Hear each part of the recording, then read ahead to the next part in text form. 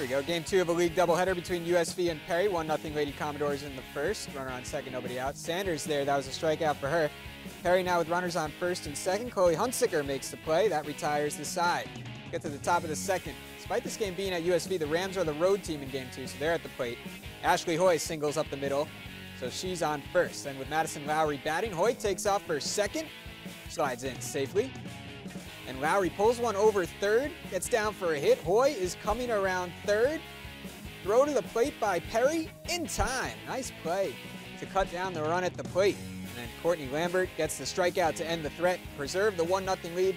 Just like the LB game, we don't have finals for the, from this one, but we knew when I left it was 1 0 Perry in, in game two.